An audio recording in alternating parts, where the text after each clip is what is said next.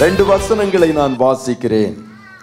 நெகேமியா எட்டாவது அதிகாரம் ஒன்றாவது வசனமும் பத்தாவது வசனத்தையும் நான் வாசிக்கிறேன். நெகமையா chapter eight verses one and ten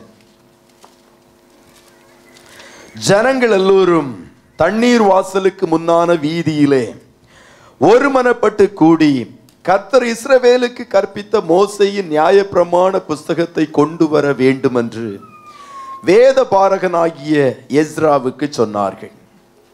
தொடர்ந்து வருகிற வசனங்கள் நான் கடைசி பத்தாவது வசனத்தை கூட வாசிக்கிறேன். பின்னும் அவன் அவர்களை நோக்கி நீங்கள் போய் கொழுமையானதை புசித்து மதுரமானதை குடித்து ஒன்றுமில்லாதவர்களுக்கு பங்குகளை அனுப்புங்கள் இந்த நாள். நம்முடைய ஆண்டவருக்கு பரிசுத்தமான நாள். நீங்கள் விசாரப்பட வேண்டாம். கர்த்தருக்குள் மகிழ்ச்சியா இருப்பதே உங்களுடைய பலன்.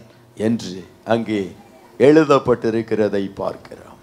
த ஜாய் ஆஃப் ரிவைவல் எழுப்புதலினால் உண்டாகும் மகிழ்ச்சியை குறித்து சில காரியங்களை நாம் தியானிக்க போகிறோம். பத்தாவது வசனத்தின் பின்பகுதியை நாம் வாசித்த வேளையில் கர்த்தருக்குள் தான் மகிழ்ச்சி காணப்படுகிறது. அதுதான் கர்த்தருடைய பிள்ளைகளுடைய பலனாய் காணப்படுகிறது. நாட்களில் உலகத்தின் ஜனங்கள் மகிழ்ச்சியை தேடி சந்தோஷத்தை தேடி செல்லாத இடங்கள் இல்லை. எங்கே சந்தோஷத்தை மகிழ்ச்சியை கண்டுபிடிக்கலாம் என்று சொல்லி உலகம் முழுவதும் சுற்றி வருகிறார்கள். கேளிக்கைகள் ட்ரக்ஸ் அது இது என்றெல்லாம் சொல்லி எங்கேயாகிலும் சந்தோஷம் மகிழ்ச்சி கிடைக்குமா என்று தேடி பார்க்கிறார்கள். சில வேளைகளில் உலக பிரகாரமான காரியங்கள் மகிழ்ச்சியை கொடுத்தாலும் அது கொஞ்ச நேரத்திற்காய்தான். அது சிற்றின்பத்தை தான் கொடுக்கும். கொஞ்ச நேரத்திற்கு தான் ஒரு மகிழ்ச்சியை கொடுக்கும். பின்பும் பழைய சூழ்நிலை பழைய கஷ்டம் பழைய பிரச்சனை. ஒரு நித்திய மகிழ்ச்சி நிரந்தரமான மகிழ்ச்சி என்பது அவர்களுக்கு எட்டா கனியாகவே எப்பொழுதும் காணப்படுகிறது. காரணம் என்ன? உண்மையான மகிழ்ச்சி சந்தோஷம் என்பது கர்த்தருக்குள் மாத்திரம் காணப்படுகிறது. இயேசுவுக்குள் மாத்திரம் காணப்படுகிறது அவரை ஆராதிக்கிறவர்களுக்கு அவர் அவரை சேவிக்கிறவர்களுக்கு மாத்திரம் காணப்படுகிறது. இயேசு பிறந்த வேளையில் லூக்கா ரெண்டாவது அதிகாரம் பத்து பதினொன்றாவது வசனங்களை வாசிக்கும் போது தெய்வதூதர்கள் சொன்னார்கள் இதோ எல்லா ஜனத்திற்கும் மிகுந்த சந்தோஷத்தை உண்டாக்கும் நற்செய்தியை உங்களுக்கு அறிவிக்கிறேன். எல்லா ஜனங்களுக்கும் மிகுந்த சந்தோஷத்தை உண்டாக்குகிற செய்தி இயேசு தோன்றினார் என்ற செய்தியாய் காணப்படுகிறது. அந்த ஆண்டவர் நம்முடைய இருதயங்களுக்குள்ளாய் வரும்போது நமக்குள்ளாய் ஒரு மனம் திரும்புதல் வரும்போது அது ஒரு பெரிய சந்தோஷத்தை நமக்குள்ளாய் கொடுக்கிறது. ஆண்டவர் சொன்னால் மனம் திரும்புகிற ஒரு பாவியின் நிமித்தம் பரலோக ராஜ்யத்தில் மிகுந்த சந்தோஷம் உண்டு பரலோகத்தில் மாத்திரமல்ல பூமியிலும் மனம் திரும்பும் போது ரட்சிக்கப்படும் போது ஒரு பெரிய சந்தோஷம் காணப்படுகிறது. எத்தியோப்பிய மந்திரி கூட அவன் மனம் திரும்பி ரட்சிக்கப்பட்டு ஞானஸ்நானம் பெற்ற வேளையில் அவனுக்குள்ளாய் ஒரு பெரிய சந்தோஷம் கடந்து வந்தது. சந்தோஷத்தோடு எருசலேமில் இருந்து எத்தியோப்பியாவுக்கு நேராய் கடந்து சென்றான் என்று அப்போஸ்தலர். எட்டாவது அதிகாரத்தின் கடைசி வசனங்களை வாசிக்கும் போது நாம் அறிந்து கொள்ளுகிறவர்களாய் காணப்படுகிறோம். அது மாத்திரமல்ல ஒரு நபரை ஆண்டவருக்குள்ளாய் நடத்தி கொண்டு வரும்போது அது ஒரு பெரிய சந்தோஷத்தை மகிழ்ச்சியை நமக்கு கொடுக்கிறது.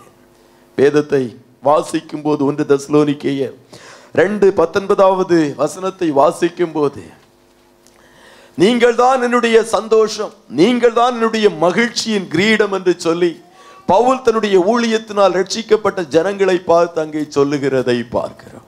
ஆக ஒரு நித்திய மகிழ்ச்சி நித்திய சந்தோஷம் என்பது கர்த்தரிடத்திலிருந்து மாத்திரம் கடந்து வருகிறதாய் காணப்படுகிறது. குறிப்பாய் நாம் அடிக்கடி பயன்படுத்துகிற ஒரு வார்த்தை தான் the joy of the Lord is our strength கத்துருக்குள் மகிழ்ச்சியாக இருப்பதே நம்முடைய பலன் என்று சொல்லி அடிக்கடி இந்த வாக்குத்தத்த வசனத்தை எல்லா இடங்களிலும் நாம் பயன்படுத்துவோம். ஆனால் இந்த வார்த்தையை இந்த வாக்குத்தத்தத்தை எந்த சூழ்நிலையில் யாருக்கு எப்பொழுது கற்றுக் கொடுத்தா என்பதை அறிந்து அதே சூழ்நிலைக்கு நேராய் நாம் மாறி அதே வார்த்தையை பயன்படுத்தும் போது அது இன்னும் அதிக பலம் உள்ளதாய் அதிக வல்லமை உள்ளதாய் காணப்படும். இந்த வார்த்தை எந்த சூழ்நிலையில் சொல்லப்பட்டது என்பதை குறித்து தான் ஒன்றாவது வசனத்திலிருந்து நாம் வாசிக்கும் போது சில காரியங்களை பார்க்க முடியும்.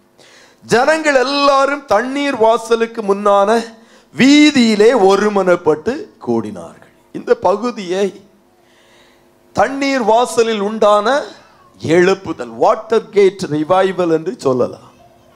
இஸ்ரவேல் ஜனங்கள் எல்லோரும் தண்ணீர் வாசலுக்கு முன்பாக கடந்து வந்து கூடுகிறார்கள் கூடின ஜனங்கள் யார்? சற்று நாம் வேதத்தை திருப்பி பார்க்கும்போது இதற்கு முன்பாய் நடந்த சம்பவங்களை பார்க்கும்போது நமக்கு தெரியும் யூதாவில் கடைசியா எழும்பின ஐந்து ராஜாக்கள். இவர்கள் ஆண்டவரை விட்டு சோரம் போய் விட்டார்கள் தூரம் போய் விட்டார்கள் விக்கிரகங்களை ஆராதித்தார்கள். பல முறை பல தீர்க்கதரிசிகளை கர்த்தர் அனுப்பி அவர்களை எச்சரித்திருந்தும் கூட கர்த்தருடைய சத்தத்துக்கு செவி சாய்க்காதபடி மனம் போன போக்கிலே யூதா ஜனங்கள் இஸ்ரவேல் ஜனங்கள் காணப்பட்டார்கள். இதன் நிமித்தமாய் கர்த்தர் இந்த இஸ்ரவேலின் ஜனங்களை யூதாவின் ஜனங்களை பாபுலோனிய ராஜாவாகிய நேபுகாத் நேச்சாருடைய கரத்தில் ஒப்பு கொடுத்தார் எரேமியா தீர்க்கனுடைய வார்த்தையின்படி. இவர்கள் எழுபது வருஷம் பாபுலோனிலே பாபுலோனிலே சிறைப்பட்டு போய் கைதிகளாக அடிமைகளாக அங்கே காணப்பட்டார்கள். இப்போது கோரேஸ் என்ற ஒரு ராஜா ஒரு பேசிய ராஜா எழும்புகிறார். அவனுடைய தலைமையின் கீழ் ஒரு கூட்ட ஜனங்கள் அவன் கத்தரால் ஏவப்பட்டதுனாலே யாரெல்லாம் எருசலேமுக்கு கடந்து சென்று நேபுகாத் நேச்சாரால் சுட்டரிக்கப்பட்ட ஆலயத்தை திரும்ப கட்ட மனதா இருக்கிறீர்களோ நீங்கள் எல்லாரும் கடந்து செல்லலாம் என்று சொன்ன வேளையில் செருபாபேலின் தலைமையின் கீழ் ஒரு கூட்ட ஜனங்கள் கடந்து வந்தார்கள். அவர்கள் கடந்து வந்த பின்பு சுமார் எண்பது வருஷங்கள் கழித்த பின்பு அடுத்ததா எஸ்ரா என்ற ஒரு ஆசாரியன் ஒரு போதகர் வேத பாரகன் வேதத்தை கற்றுக் கொடுக்கிற ஒரு மனுஷன் அவனுடைய தலைமையின் கீழ் அடுத்த கூட்டம் ஜனங்கள் கடந்து வந்தார்கள். அதன் பின்பாய் எஸ்ராவுக்கு பின்பாக ஒரு பன்னிரண்டு வருஷங்களுக்கு பின்பாய். நெகேமியாவின் தலைமையின் கீழ் ஒரு கூட்ட ஜனங்கள் கடந்து வந்தார். இப்படி கடந்து வந்த ஜனங்களின் தொகை என்ன என்று நாம் பார்க்கும்போது நெகேமியா ஏழாவது அதிகாரம் அறுபத்தி ஆறு அறுபத்தி ஏழாவது வசனங்களை வாசிக்கும் போது சபையார் எல்லாரும் ஏகத்திற்கு நாற்பத்தி ஈராயிரத்தி முன்னூற்றி அறுபது பேராய் இருந்தார்கள். அவர்களை தவிர ஏழாயிரத்தி முன்னூற்றி முப்பத்தி ஏழு பேரான அவர்களுடைய வேலைக்காரரும் வேலைக்காரிகளும் இருநூற்றி நாற்பத்தி ஐந்து பாடகரும் பாடகிகளும் அவர்களுக்கு இருந்தார்கள். மொத்தம் பார்க்கும்போது forty nine thousand nine four two சுமார் ஐம்பதுனாயிரம் ஜனங்கள் பாபுலோனை விட்டு பேர்சியாவை விட்டு அவர்கள் எருசலேமுக்கு ஏற்கனவே கடந்து வந்தாயிற்று. மூன்று தலைவர்களின் கீழ் செருபாபேலின் கீழ் எஸ்ராவின் கீழ் நகேமியாவின் கீழ் சுமார் நூறு வருஷ தொண்ணூற்றி ரெண்டு வருஷ இடைவெளிக்குள்ளாக இவர்கள் எருசலேமுக்கு நேராக கடந்து வந்தாயிற்று. செருபாபேல் கட்டின ஆலயம் இரண்டாவது ஆலயம் நேபுகாத் நேச்சாரால் இடிக்கப்பட்ட ஆலயம். அதை எடுத்து கட்டினவன் செருபாபேல். அதை செருபாபேல் ஸ்டெம்பிள் இல்லை என்றால் இரண்டாவது ஆலயம் என்று சொல்லுவது உண்டு. ஆலயம் கட்டி எழுப்பப்பட்டது ஆனால் ஜனங்கள் அப்படியே தான் காணப்பட்டார்கள். ஜனங்களுக்குள்ளாய் ஒரு மாற்றம் உண்டாகவே இல்லை. நாட்களிலும் திரளான ஆலயங்களை எல்லாம் பெரிது பெரிதாய் நாம் பார்க்கிறோம். ஆனால் ஜனங்களுக்குள்ளாய் ஒரு மாற்றத்தை இந்நாட்களில் பார்க்கக்கூடாத இடங்கள் அநேகம் காணப்படுகிறது. அதன் பின்பா எண்பது வருஷத்திற்கு பின்பா எஸ்ரா என்ற போதகன் கடந்து வந்திருந்தும் கூட ஜனங்களுக்குள்ளாய் ஒரு உண்மையான எழுப்புதலை ஜனங்களுக்குள்ளாய் ஒரு பெரிய மாற்றத்தை ஒரு டிரான்ஸ்பர்மேஷனை ஒரு எழுப்புதலை நாம் பார்க்க முடியவில்லை. ஆனால் நெகேமியாவின் தலைமையின் கீழ் ஜனங்கள் கடந்து வந்து அலங்கத்தை எடுத்து கட்டின பின்பு காம்பவுண்டை எடுத்து கட்டின பின்பு அந்த காம்பவுண்ட் சுவருக்கு பத்து வாசல்களை எல்லாம் வைத்து ஒரு அடைப்பை உண்டு பண்ணின பின்பு பின்புதான் ஜனங்களுக்குள்ளாய் இந்த சூழ்நிலைகளுக்கெல்லாம் காரணம் என்ன? நாம் ஏன் இவ்வளவு அடிமைகளாய் காணப்படுகிறோம்? இப்போது பாபுலோன் பேசிய தேசங்களிலிருந்து நாம் வந்திருந்தும் கூட இன்னும் கப்பம் கட்டுகிறவர்களாய் வரி கட்டுகிறவர்களாய் காணப்படுவதன் காரியம் என்ன? இவ்வளவு அடிமைத்தனத்திற்கு காரணம் என்ன? இவ்வளவு பாடுகளுக்கு காரணம் என்ன? என்று ஜனங்கள் சிந்திக்க துவங்கினார்கள். அலங்கம். கட்டி ஐம்பத்தி ரெண்டு நாட்களுக்குள்ளாய் கட்டி முடிக்கப்பட்ட பின்பு தேவனால் காரியங்கள் கைகூடி வந்த பின்பு அவர்களுக்குள்ளாய் உண்டான ஒரு எண்ணம். காரணம் அது மட்டும் தேவாலயம் காணப்பட்டாலும் மதிலிடிந்த பட்டணம் போல் எருசலேம் காணப்பட்டதனால் எப்போது வேண்டுமென்றாலும் சத்துரு உள்ளே வருவான் எப்போது வேண்டுமென்றாலும் வெளியே போவான். பிசாசும் அப்படித்தான். ஒரு சுவர் பாதுகாப்பு வேலி இல்லை என்றால் எப்பொழுது வேண்டுமென்றாலும் அவன் வருவான் அட்ராக்ட் செய்வான் அவனுடைய ஆளுகையின் கீழ் இருப்பதற்கு அடையாளம். ஆலயம் இருந்தது ஆனால் அடிமைத்தனத்தில் இருந்தார்கள். ஆலயம் இருந்தது சத்ருவின் பிடியிலே அந்த ஜனங்கள் காணப்பட்டார்கள். அலங்கம் கட்டி முடிக்கப்பட்ட பின்பு எஸ்ராவின் தலைமையின் கீழ் நெகேமியாவின் தலைமையின் கீழ் ஜனங்கள் எல்லோரும் ஓரிடத்தில் கூடி வந்தார்கள். அதுதான் தண்ணீர் வாசலுக்கு முன்னால வீதியிலே. ஏன் செருபாபேலின் ஆலயத்தில் கூடி வரவில்லை? என்று ஒரு கேள்வி நமக்குள்ளா எழும்பலாம் செருபாபேலின் ஆலயம் ஒருவேளை ஐம்பதினாயிரம் பேரை வைத்து அங்கே ஒரு ஆராதனை நடத்துவதற்கு அந்த இடம் போதுமானதா இருந்திருக்க கூடாது. அந்த கூடாரத்தின் அந்த ஆலயத்தின் பிரகாரத்தில் சுமார் ஐம்பதினாயிரம் ஜனங்கள் நின்று கர்த்தருடைய வார்த்தைகளை கேட்பதற்கு அந்த இடம் போதுமானதாய் இருந்திருக்காது. ஆகையால் தண்ணீர் வாசல் என்ற அந்த வாசலுக்கு எதிரே இருந்த ஒரு தெருவில் ஒரு ஸ்ட்ரீட்டில் அங்கே ஒரு பெரிய எழுப்புதல் உண்டாகிறதை பார்க்க எழுப்புதல் என்று சொன்னாலே எல்லோருக்கும் தெரியும் Wales revival Azusa street revival Korean revival. இதெல்லாம் நம்முடைய நாட்களில் நாம் கேட்கிற ரிவைவலை பற்றி கேட்கிற சம்பவங்கள் தேசங்களில் எழும்பின எழுப்புதலை குறித்து நாம் அறிந்திருக்கிறோம். இங்கே வாட்டர் கேட் ரிவைவல் என்று சொல்லி ஒரு பெரிய எழுப்புதல் இங்கே உண்டாகிறதை நாம் பகுதியை தியானிக்கும் போது அறிந்து கொள்ளலாம்.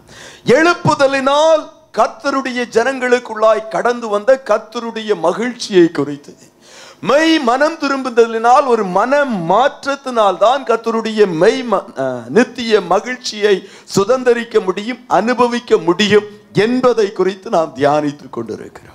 முன்பு சொன்னது போல எருசலேம் அலங்கத்திற்கு காம்பவுண்ட் வாலுக்கு பத்து கேட் இருந்தது. அந்த கேட்டுகள் ஒவ்வொன்றும் ஒரு ஆவிக்குரிய அர்த்தத்தை கொடுக்கிறதாய் காணப்படுகிறது. அதை குறித்து துரிதமா இந்த பத்து கேற்றும் என்ன என்பதை குறித்து நாம் சற்று பார்க்கும்படியாய். நெகேமியா மூன்றாவது அதிகாரத்திற்கு நேராக நாம் திருப்புவோமா? ஏமே நெகேமியா மூன்று ஒன்று சொல்லுகிறது அங்கே எல்லோரும் ஒரு கூட்டம் எழும்பி எந்த வாசலை கட்டினார்கள்? ஆட்டு வாசலை கட்டினார். ஷீப் கேட் ஆட்டு வாசல் ஆடு என்றாலே ஆண்டவர் தேவாட்டுக்குட்டியாய் இயேசுவை வெளிப்படுத்துகிறதாய் காணப்படுகிறது. இயேசு சிலுவையில் தேவாட்டுக்குட்டியாய் வெளிப்பட்டு உங்களுக்காக எனக்காக ஜீவனை கொடுத்து உலகத்தின் பாவத்தை சுமந்து தீர்த்தார். நாம் கல்வாரி அண்டை சிலுவை அண்டை வந்து நிற்கும் போதுதான் ரட்சிப்பு சால்வேஷன் என்பது நமக்கு கடந்து வருகிறதாய் காணப்படுகிறது. கிறிஸ்தவ ஜீவியத்தின் முதல் படியானது சால்வேஷன் ரட்சிப்பாய் காணப்படுகிறது. அதுதான் முதல் வாசல் ஆட்டு வாசல். இரண்டாவது வாசல் என்ன? மூன்றாவது வசனம் சொல்லுகிறது என்ன வாசல்? மீன் வாசல். அந்த மீன் வாசல் எதை குறிக்கிறதாய் காணப்படுகிறது என்றால் சர்வீஸை குறிக்கிறதாய் காணப்படுகிறது. எழுத்தின்படி எருசலை நகரத்திற்குள்ளாய் மீன்களை விற்க கொண்டு வர வேண்டும் என்றால் அந்த வாசல் வழியாய் மாத்திரம் தான் கடந்து வர வேண்டும். ஆகையால் தான் அதற்கு மீன் வாசல். நல்ல ஆவிக்குரிய அர்த்தம் என்ன? ஆண்டவருக்காக கர்த்தருடைய ஜனங்கள் ஏமேன் எடுக்கிற பிரயாசங்கள் முயற்சிகள் ஊழியம் செய்வதை குறித்ததாய் காணப்படுகிறது. ஆண்டவர் சீஷர்களை அழைக்கும் போதெல்லாம் சொன்னார் நீங்கள் இப்போது மீன்களை பிடித்துக் கொண்டிருக்கிறீர்கள். இனி உங்களை மனுஷர்களை பிடிக்கிறவர்களாய் ஆக்குவேன் என்று சொல்லி அப்போஸ்தலர்களை எல்லாம் கர்த்தர் அழைக்கிறதை பார்க்கிறார். நாம் ரட்சிக்கப்பட்ட பின்பு ஏதாயிலும் ஒரு விதத்தில் மனுஷர்களை பிடிக்க வேண்டியது நம்முடைய கடமை. ஏன நம்முடைய கடமை. தேசங்களில் கோடிக்கணக்கான ஜனங்கள் உண்டு. உலகம் முழுவதும் கோடிக்கணக்கான ஜனங்கள் காணப்படுகிறார்கள். ஏதோ ஒரு கூட்ட ஊழியர்கள் ஒரு கூட்ட ஜனங்கள் மாத்திரம் எழும்பி பிரயாசப்பட்டால் எப்படி தேசத்தை ஆண்டவருக்காக சுதந்திரிப்பது? நான் முன்பு ஒரு முறை சொன்னது போல இந்தியாவில் மாத்திரம் கஷ்டப்பட்டு ஒரு வருஷம் ஒரு கோடி பேரை சந்திக்கிறார்கள் என்று வைத்துக் கொள்ளுங்க. ஆனால் அதே வருஷத்தில் பத்து கோடி ஜனங்கள் பிறந்து விடுகிறார். என்றால் நாம் சந்திக்கிற ஜனங்களுடைய ரேஷியோ ஆனது விகிதமானது குறைவாகவே காணப்பட்டு கொண்டிருக்கும். ஆகையால் தான் கத்தருடைய ஜனங்கள் எல்லோரும் இந்த நாட்களில் ஊழியக்காரர்களாய் நாம் எழும்ப வேண்டும். ஆறாவது வசனம் என்ன சொல்லுகிறது? பழைய வாசல் ஓல்டு கேட் என்பதாய் எழுதப்பட்டிருக்கிறது. பழைய வாசல். ரேமி ஆறாவது அதிகாரம் பதினாறாவது வசனத்தை வாசிக்கும் போது வழியிலே நின்று பூர்வ பாதைகள் எவையென்று பார்த்து நல்ல வழிகளை தெரிந்து அதிலே நடவுங்கள் என்று கத்த சொல்லுகிறார். பூர்வ பாதைகள் என்ன? பழைய வழிகள் என்ன? கர்த்தர் வேதத்திலே காட்டின பழைய ஆலோசனைகள் என்ன? ஒவ்வொரு காரியங்களிலும் பரிசுத்தவான்கள் எப்படி தங்கள் ஜீவியங்களை கட்டி எழுப்பினார்கள்? இந்த குறிப்பிட்ட காரியத்திற்கு நமக்கு முன்னோடினவர்களாகிய பரிசுத்தவான்கள் முற்பிதாக்கள் எப்படி அப்படிப்பட்ட சூழ்நிலைகளை சமாளித்தார்கள் என்பதை குறித்தெல்லாம் நாம் சில வேளைகளில் திரும்பி பார்க்க வேண்டும். நாட்களில் எல்லாமே மாடர்ன் எல்லாமே லேட்டஸ்ட் டெக்னாலஜி எல்லாமே இன்று நாளை என்று சொல்லி ஒவ்வொரு நாளும் டெக்னாலஜி சேஞ்ச் ஆகி கொண்டே இருக்கிறது நாமும் அதை எதிர்கொண்டு ஓடுகிறவர்களாய் காணப்படுகிறோம். பழையவைகள் முக்கியமே நம்முடைய வாழ்க்கையில். முக்கியமாக நாம் அதை அநேக வேளைகளில் கருதுவதில்லை. ஆனால் உங்களுடைய கரங்களில் என்னுடைய கரங்களில் காணப்படுகிற வேதம் முழுமையா எழுதி கொடுக்கப்பட்டு சுமார் ரெண்டாயிரம் வருஷங்கள் ஆகிவிட்டது. பழைய புஸ்தகம் தான்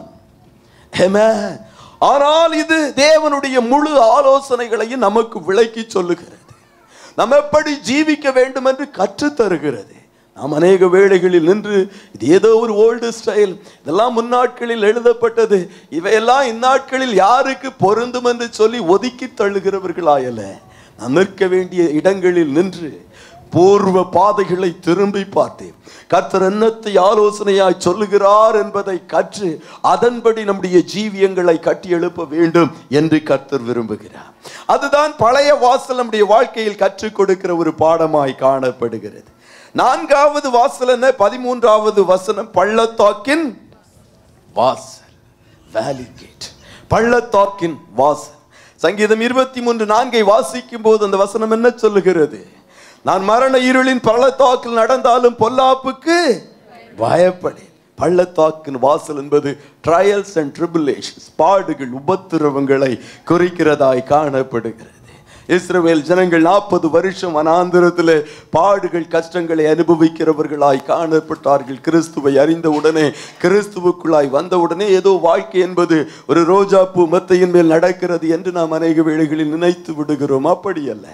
ஆண்டவர் சொன்னால் ஒருவன் என்னை பின்பற்றி வர விரும்பினால் தன்னைத்தான் வெறுத்து தன் சிலுவையை எடுத்துக்கொண்டு என்னை பின்பற்ற கடவன் என்று ஆண்டவர் சொல்லி இருக்கிறார் இயேசு சொன்னார் உலகத்தில் உங்களுக்கு உபத்திரவங்கள் உண்டு.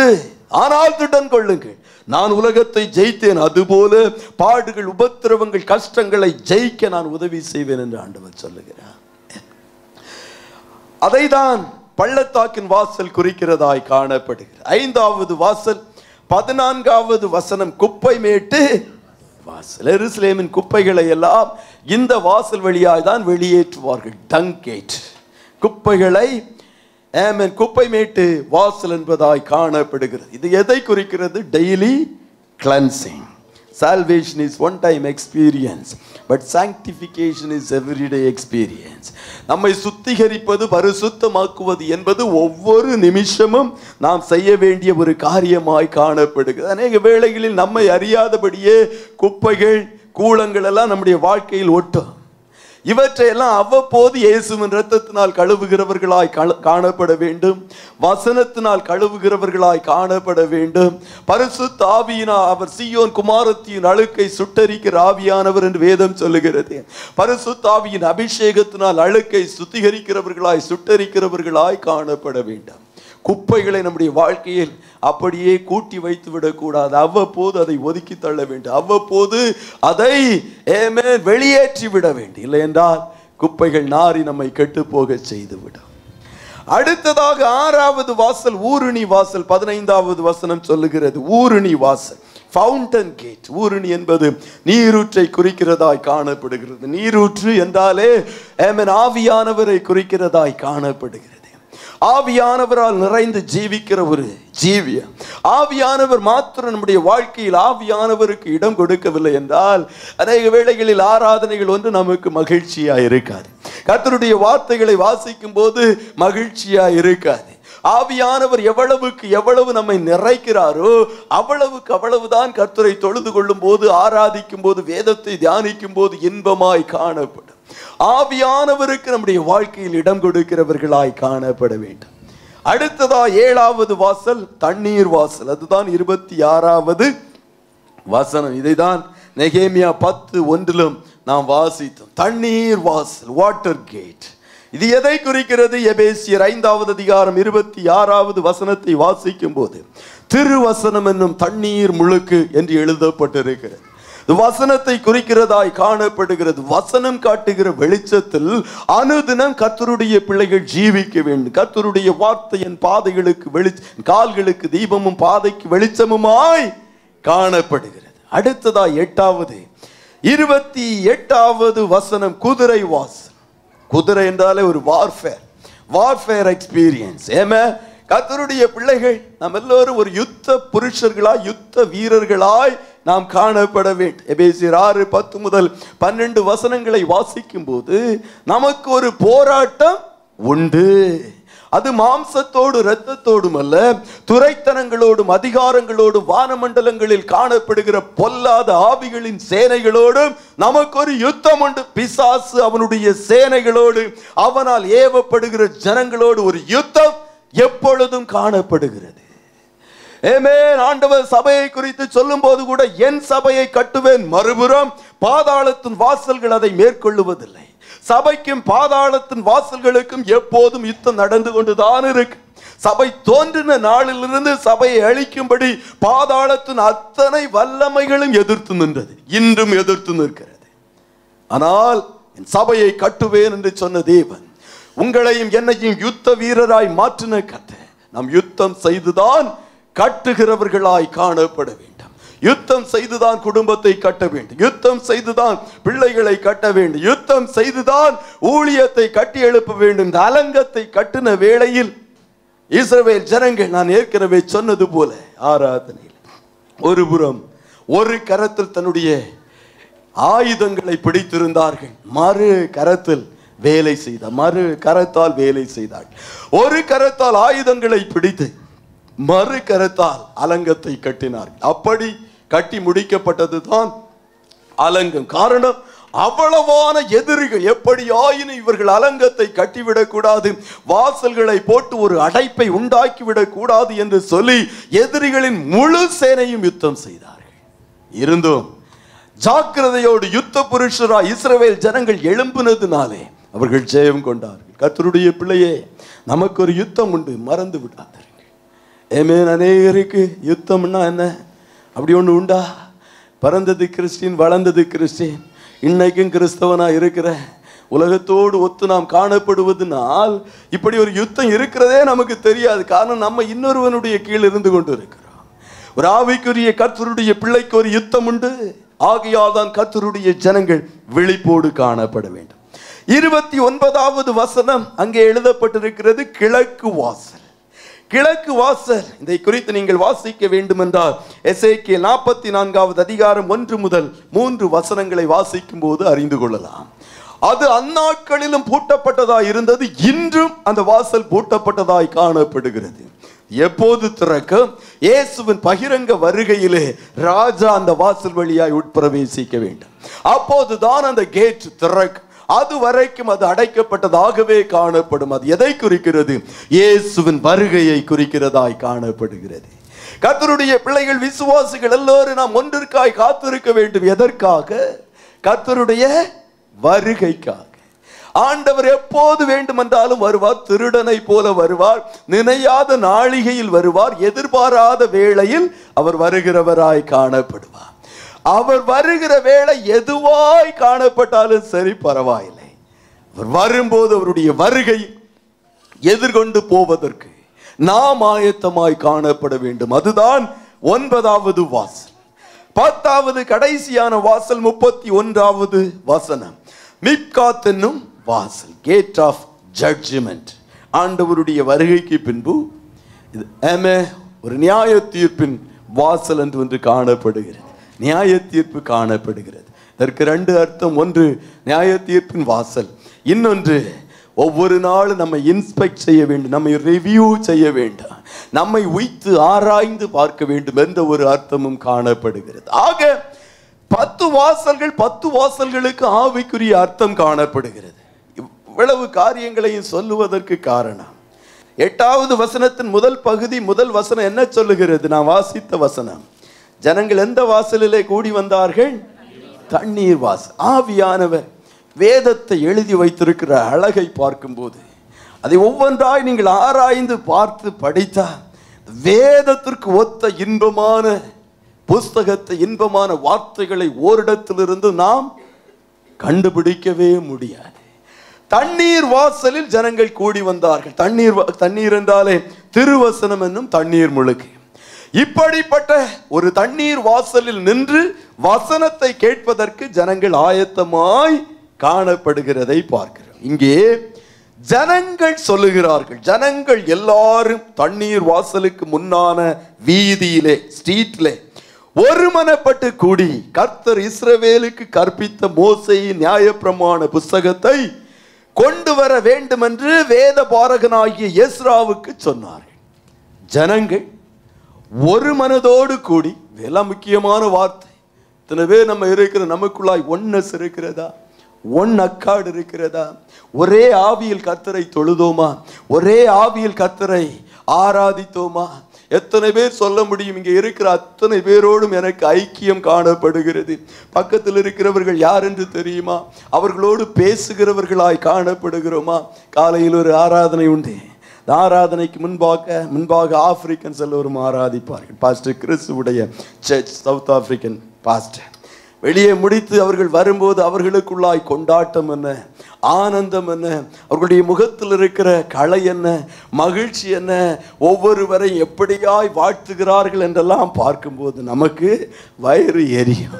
ஏன்னா இங்கே ஜனங்களுடைய மூஞ்சியில் ஒரு சிரிப்பை கொண்டு வருவதற்கு சேதுபடுகிற பாடு. என் வார்த்தைகளினால் சொல்ல முடியாத பாடு. ஏமே என்று நம்முடைய சூழ்நிலைகள் மாறும் கலாச்சாரங்கள் மாறும். என்று நமக்குள்ளாய் சபை என்ன என்னும் குடும்பம் என்ற ஒரு உணர்வு வரும். ஏமே ஒரு குடும்பத்தின் அங்கம் என்ற ஒரு உணர்வு வரும். நான் என்னுடைய எல்லை என்ற சூழ்நிலையிலிருந்து இதை விட்டு வெளியே நாம் எப்பொழுது வரப்போகிறோம்? ஏமே நமக்குள்ளாய் ஆயிரம் குறைகள். இங்கே ஜனங்கள் எல்லோரும் ஒருமனப்பட்டு கூடி கர்த்தர் இஸ்ரவேலுக்கு கற்பித்த மோசையின் நியாயப்பிரமாண புஸ்தகத்தை கொண்டு வர வேண்டும் என்று எஸ்ராவுக்கு கட்டளையிடுகிறார்கள். பொதுவா பாஸ்டர்ஸ் தான் ஜனங்களை பார்த்து பைபிளை கொண்டு வாடா ஏமீன் வேதத்தை வாசி. ஒவ்வொரு நாளும் கர்த்தருடைய வார்த்தையை வாசி. அது உன்னுடைய எதிர்காலத்தை பிரகாசமாய் வைக்க உதவும். அது உன்னை பரிசுத்தமாய் காத்துக்கொள்ளும். ஒவ்வொரு நாளும் வேதத்தை தியானம் செய்யுங்க. அசை போடுங்க என்றெல்லாம் சொல்லுகிறதை நாம் கேட்டு இருக்கிறோம் அதுதான் இன்றைய காலகட்டம் இன்றைய சூழ்நிலை அது. ஆனால் அங்கே ஜனங்கள் சொல்லுகிறார்கள். பாஸ்டரை பார்த்து வேத பாரகனாகிய எஸ்ராவை பார்த்து பைபிள் டீச்சரை பார்த்து சொல்லுகிறார்கள் எங்களுக்கு நியாயப்பிரமாண புஸ்தகத்தை குறித்து அறிய வேண்டும். கர்த்தருடைய வார்த்தையை குறித்து அறிய வேண்டும். நியாயப்பிரமாண புஸ்தகம் லா என்று சொன்னால் பெண்டடாக் முதல் ஐந்து ஆகமங்களாய் காணப்படுகிறது. ஆதி ஆகமம் யாத்ராகமம் லேவியராகமம் எண்ணாகமம் உபாகமம் அதுதான் நியாயப்பிரமாண புஸ்தகம். அவர்களுடைய நாட்களில் அந்த புஸ்தகங்கள் தான் காணப்பட்டது. இதை கொண்டு வாருங்கள். நாங்கள் வேதத்தை கேட்க வேண்டும். ஏன் இத்தனை பாடுகள்? ஏன் இத்தனை கஷ்டம்? ஏன் எங்களுக்கு அடிமைத்தனம்? ஏன் இத்தனை வருஷம் கண்ணீரின் பாதைகள்? எங்கள் பிரயாசங்களை ஏன் மற்றவர்களுக்கு நாங்கள் வரி கட்டுகிறோம்? வேதத்தை நாங்கள் ஆராய்ந்து பார்க்க வேண்டும். நாங்கள் எங்கே தவறு செய்தோம்? எங்கே எங்களுடைய வாழ்க்கையில் பிழைகள் காணப்படுகிறது?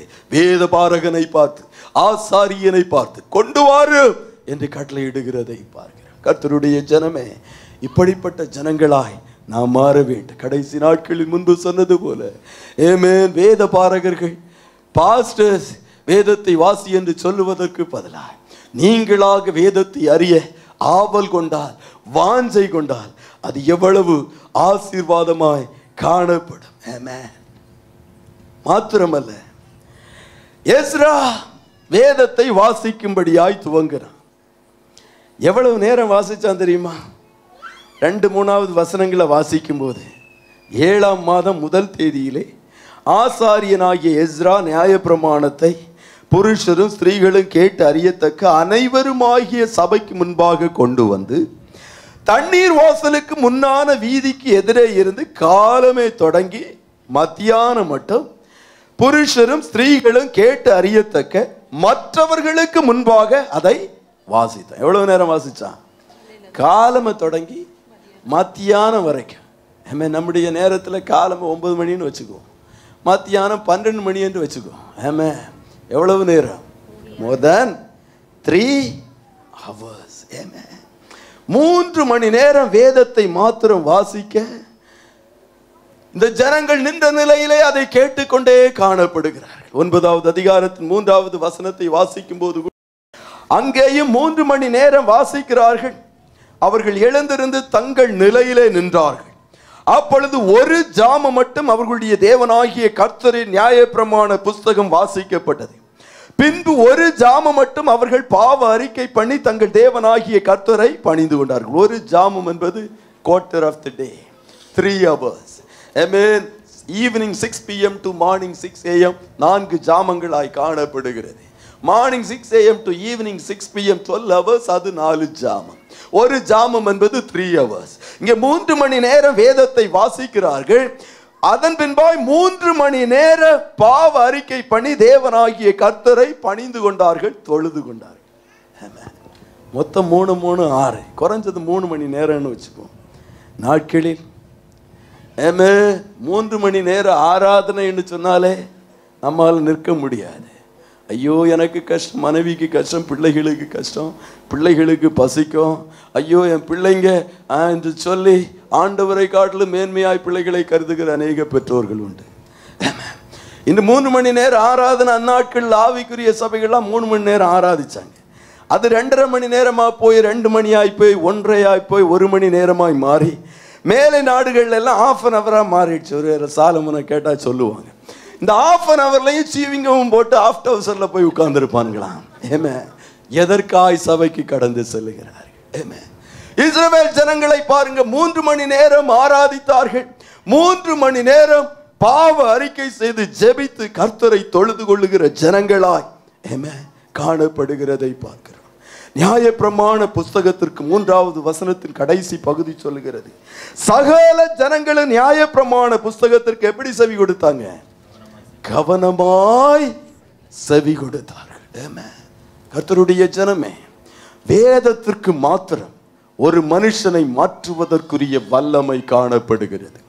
எந்த மனுஷனையும் மாற்றுவதற்கு வல்லமை கர்த்தருடைய வார்த்தைக்கு மாத்திரம் காணப்படுகிறது. ஒரு ஆத்மாவும் ஒரு இருதயம் எவ்வளவு கடினமாய் காணப்பட்டாலும் சரி கல்லாய் காணப்பட்டாலும் சரி ஒரு ஆத்மாவை மாற்றுவதற்கு ஒரு டிரான்ஸ்ஃபார்ம் செய்வதற்கு ஒரு மறுரூபப்படுத்துவதற்கு கத்தருடைய வார்த்தையில் வல்லமை காணப்படுகிறது. இங்கே சகல ஜனங்களும் கரிசனையோடு கர்த்தருடைய வார்த்தையை மணிக்கணக்காக அவர்கள் காத்து நின்று தரைத்து நின்று கேட்கிறதை பார்க்கிறோம். இதுதான் ஒரு ட்ரூ ரிவைவல் அவர்களுக்குள்ளாய் ஒரு பெரிய எழுப்புதலை கொண்டு வந்ததன் ரகசியமே அவர்களுக்குள்ளாய் ஒரு மாற்றத்தை கொண்டு வந்ததற்கு காரணமே கர்த்தருடைய வார்த்தையை கவனமாய் கேட்கிற ஜனங்களாய் காணப்பட்டார்கள். ஏசாய ஐம்பத்தி ஐந்தாவது அதிகாரம் பத்து பதினொன்றாவது வசனங்களை வாசிக்கும் போது வாசியுங்கள் அந்த வசனங்களை. மாரியும் உறைந்த மழையும் வானத்திலிருந்து இறங்கி அவ்விடத்துக்கு திரும்பாமல் பூமியை நனைத்து அதில் முளை கிளம்பி விளையும்படி செய்து விதைக்கிறவனுக்கு விதையையும் புசிக்கிறவனுக்கு ஆகாரத்தையும் கொடுக்கிறது. எப்படியோ அப்படியே என் வாயிலிருந்து புறப்படும் வசனமும் அப்படியே என் வாயிலிருந்து புறப்படும் வசனம் இருக்கும். அது வெறுமையாய் என்னிடத்திற்கு திரும்பாமல். ஏமேன் வெறுமையாய் ஒருபோதும் திரும்புவதில்லை. அதை நான் விரும்புகிறதை செய்து. அதை நான் விரும்புகிறதை செய்து. நான் அதை அனுப்பின காரியமாகும்படி வாய்க்கும். விரும்புகிறதை செய்யும். எந்த காரணத்திற்காக அந்த வார்த்தை பேசப்பட்டதோ வார்த்தையை அனுப்பினேனோ அந்த காரியத்தை வாய்க்கும்படி செய்யும் கர்த்தருடைய ஜனமே. கர்த்தருடைய வார்த்தை ஒரு விசை சொன்னாலே போதும். ஏமே வார்த்தையில் ஜீவன் காணப்படுகிறது. வேதம் தெளிவாய் சொல்லுகிறது அந்த வார்த்தை வெறுமையாய் திரும்புவதே இல்லை. ஏமே வார்த்தை பலன்களை கொண்டு வரும். அந்த வார்த்தை கல்லான இருதயங்களை உடைக்கும். அந்த வார்த்தை ஜனங்களுக்குள்ளாய் ஒரு பெரிய மாற்றத்தை கொண்டு வரும். அன்பு பிரதர் விஜய் சாட்சி சொன்னது போல பத்து வருஷங்கள் இந்த தேசத்தை விட்டு கடந்து சென்றிருந்தாலும் கூட பத்து வருஷத்திற்கு பின்பாய் கடந்து வந்த வேளையிலும் கூட இந்த சபைக்கு வர வேண்டும் என்ற ஒரு வாஞ்சை எனக்குள்ளாய் அது ஒரு ஆசையாய் இருந்தது. வார்த்தைகளை கேட்பதற்கு என்றும். இப்படி அநேகரிடத்திலிருந்து இதே சாட்சியை நான் கேட்டிருக்கிறேன். Amen. எவ்வளவு பெரிய பாக்கியம். கர்த்தருடைய வார்த்தை ஒன்று மாத்திரம். அது என்னத்தை செய்ய வேண்டும் என்று விரும்புகிறதோ எதற்காய் கர்த்தர் அனுப்புகிறாரோ அந்த காரியத்தை செய்து விட்டுதான் திரும்பவர். மாத்திரமல்ல எபிரேய நான்கு பன்னெண்டு எல்லோருக்கும் தெரிந்த வார்த்தை இது penetrating word sharper than any two edge sword. Amen இருபுறமும் கருக்குள்ள எந்த பட்டயத்தை காட்டிலும் கூர்மையானது. இது ஒரு மனுஷனை வெட்டினால் அவ்வளவுதான். இதுதான் மாம்சத்தையும் ஆவியையும் வேர்பிரிக்கிறதாய் காணப்படுகிறது. இதுதான் ஆத்மாவுக்குரியதையும் மாம்சத்திற்குரியதையும் ஆமென் அறுவை சிகிச்சை செய்து செப்பரேட் செய்கிறதாய் காணப்படுகிறது. இதுதான் சரீரத்தில் கெட்டு போன பகுதியை அறுத்தெடுத்து தூரே வீசி ஏமன் நல்ல பகுதிக்கு மருந்தை போட்டு குணப்படுத்துகிறதாய் காணப்படுகிறது. எந்த மனுஷனையும் மாற்றுவது கர்த்தருடைய வார்த்தையாய் காணப்படுகிறது. இங்கே ஜனங்கள் கவனமாய் வாசிப்பதை கேட்டார்கள். மாத்திரமல்ல எஸ்ரா எழும்பி நின்ற வேளையில் இடதுபுறம் ஆறு பேர் நின்றார்கள் வலதுபுறம் ஏழு பேர் நின்றார்கள்.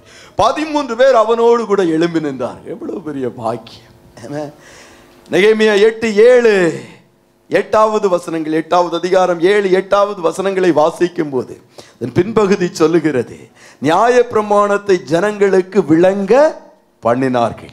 ஜனங்கள் தங்கள் நிலையிலே நின்றார்கள். ஏழாவது வசனத்தின் கடைசி பகுதி.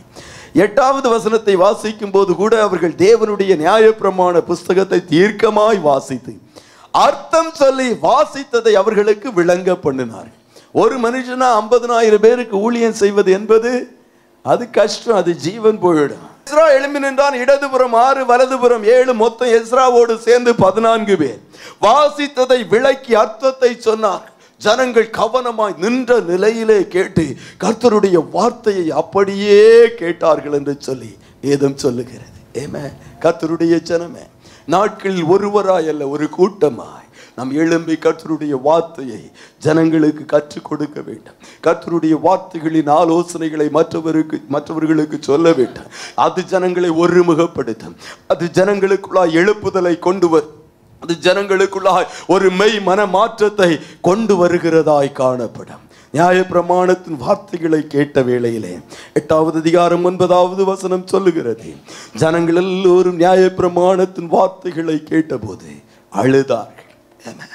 அழுதார்கள் என்று எழுதப்பட்டிருக்கிறது. அவர்களுக்குள்ளாய் ஒரு மெய் மனம் திரும்புது. எவ்வளவாய் சோரம் போய்விட்டான். எவ்வளவாய் கத்தருடைய நல்ல ஆலோசனைகளை தள்ளிவிட்டான். எவ்வளவாய் கத்தர் இவ்வளவு பிரமாணங்களை எழுதி கொடுத்திருந்தும் கூட அவர் தன்னுடைய இருதயத்தையே எங்களுக்காக எழுதி இரு- கொடுத்திருந்தும் கூட நல்ல ஆலோசனைகளை தந்திருந்தும் கூட எப்படி ஜீவிக்க வேண்டும் என்று சொல்லி இருந்தும் கூட எங்களுடைய முற்பிதாக்கள். ஏமேன் அதை ஒதுக்கி தள்ளி பாகால்களை ஆராதித்து விக்கிரகங்களை ஆராதித்து ஆண்டவருடைய நாமத்தை அசட்டை செய்ததினால் வார்த்தையை கனஈனம் பண்ணினதினாலே எவ்வளவாய் வேதனைகள் என்று சொல்லி அழுதார். அவர்களுக்குள்ளாய் ஒரு மெய் மனமாற்றம் வருகிறதை பார்க்கிறோம். அது மாத்திரமல்ல. ஒன்பதாவது அதிகாரம் நான்காவது வசனத்தை வாசிக்கும் போது மகா சத்தமாய் ஓலமிட்டார்கள் என்று எழுதப்பட்டிருக்கிறது. நாலாவது வசனத்தின் கடைசி பகுதியை வாசித்தால் மகா சத்தமாய் ஓலமிட்டார்கள்.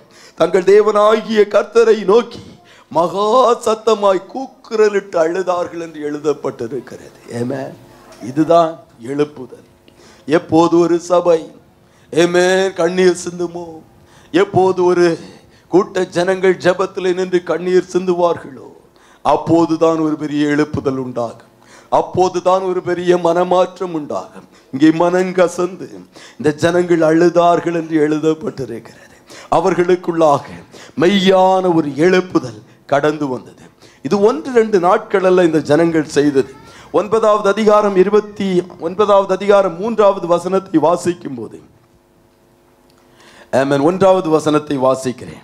அந்த மாதம் இருபத்தி நாலாம் தேதியிலே இஸ்ரவேல் புத்திரர் உபவாசம் பண்ணி ரட்டுடுத்தி தங்கள் மேல் புழுதியை போட்டுக் கொண்டவர்களாய் கூடி வந்தார்கள்.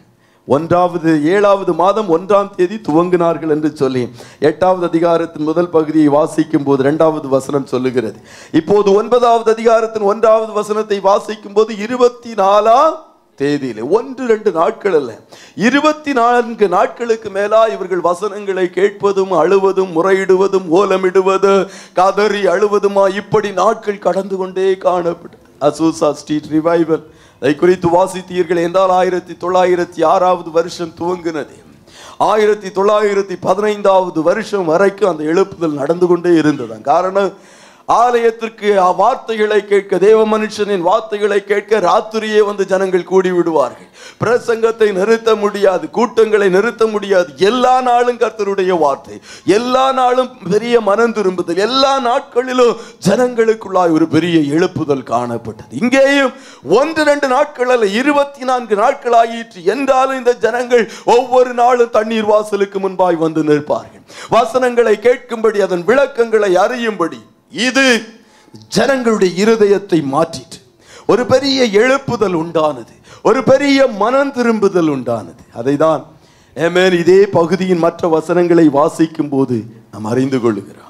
இவர்களுக்குள்ளா எழுப்புதல் வந்தது என்பதை எப்படி அறிய முடியும்? ஒன்பதாவது அதிகாரத்தின் இரண்டாவது வசனத்தை வாசிக்கும் போது இந்த வசனத்தின் முதல் பகுதி சொல்லுகிறது இஸ்ரவேல் சந்ததியா மறு ஜாதியாரை எல்லாம் விட்டு பிரிந்து வந்து நின்றார் மறு ஜாதியா எல்லோரையும் விட்டு பிரிந்து வந்து நின்றார்கள். அது மாத்திரமல்ல நெகேமியா பத்தாவது அதிகாரம் முப்பதாவது வசனத்தை வாசிக்கும் போது அந்த வசனம் என்ன சொல்லுகிறது?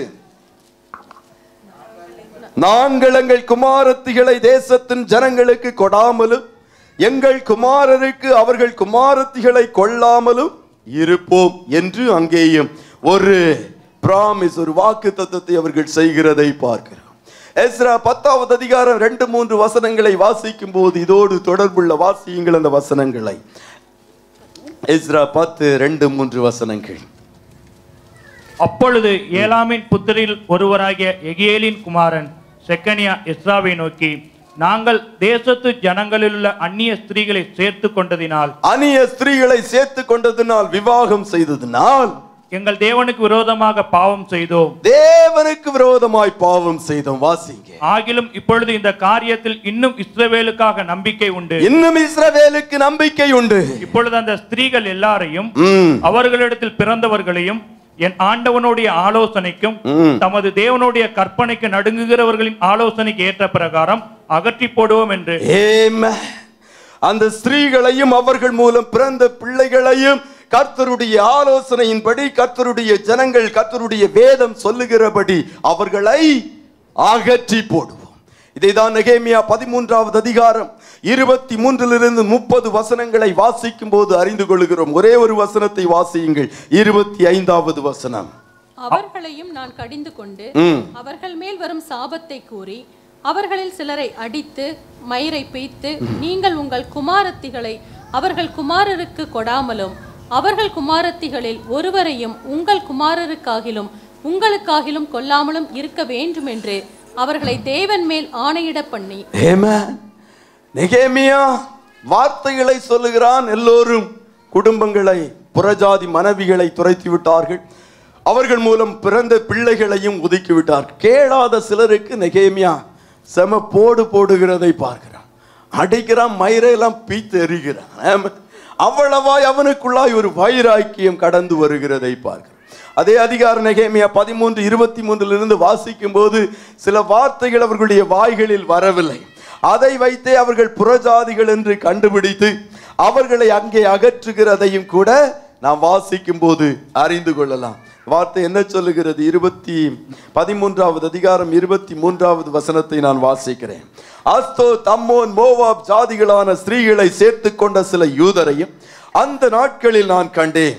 அவர்கள் பிள்ளைகள் பேசின பேச்சில் பாதி அஸ்தோத் பாஷையா இருந்தது. இவர்கள் அந்தந்த ஜாதிகளின் பாஷையை தவிர யூத பாஷைகளை திட்டமாய் பேச அறியாதிருந்தார்கள். புறஜாதி ஸ்திரீகள் அவர்களோடு அவர்கள் கலாச்சாரம் வந்துவிட்டது அவர்கள் மொழிகள் வந்துவிட்டது. பாதி அஸ்தோத் லாங்குவேஜ் பாதி இஸ்ரேல் லாங்குவேஜ் ஏமன் யூத பாஷை. அங்கே ஒரு கலப்படம் வந்ததை இந்த வேத பகுதியை வாசிக்கும் போது அறிந்து கொள்கிறோம் இஸ்ரேல் ஜனங்களுக்குள்ளாய் மனமாற்றம் வந்தது எழுப்புதல் வந்தது. அதன் நிமித்தமாய் முதல் முதலாய் அவர்கள் துரத்தினது புறஜாதி மனைவிகளையும் அவர்கள் மூலமாய் பிறந்த குழந்தைகளையும் அவர்கள் துரத்தினார்கள் என்று எழுதப்பட்டிருக்கிறதை பார்க்கிறோம்.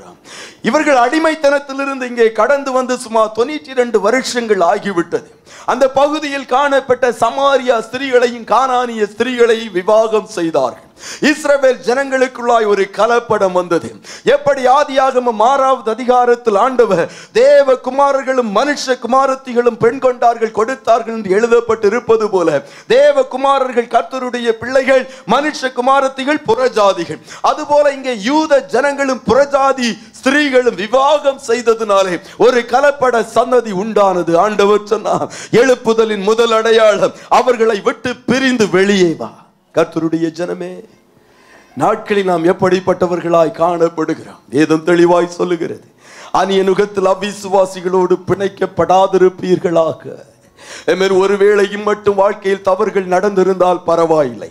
இனி கத்தருடைய வார்த்தையை கேட்கிற ஒருவனும் ஒரு அவ்விசுவாசியை திருமணம் செய்யவே கூடாது காரணம் அவிசுவாசி ஆராதிப்பது விக்கிரகங்கள். Idolater is an adultery Amen. விக்கிரக ஆராதனை விபச்சாரத்திற்கு ஒப்பாய் காணப்படுகிறது. ஆகையால் தான் ஒரு கர்த்தரை அறிந்த கர்த்தருடைய பிள்ளை ஒரு புறஜாதியை விசுவாசத்திற்கு காணியாட்சிக்கு அப்பாற்பட்ட ஒருவனை திருமணம் செய்தால் ஏமே ஒரு அசுத்த ஆவியை ஒரு விக்கிரக ஆவியை விவாகம் செய்வது போல் அடையாளம். விபச்சாரத்திற்கு அடையாளமாய் காணப்படுகிறது. ஆகையால் தான் கர்த்தருடைய ஜனம் இந்நாட்களில் எவ்வளவு ஜாக்கிரதையாய் காணப்பட வேண்டும். நெகேமியாவின் நாட்களில் எழுப்புதல் வந்தது.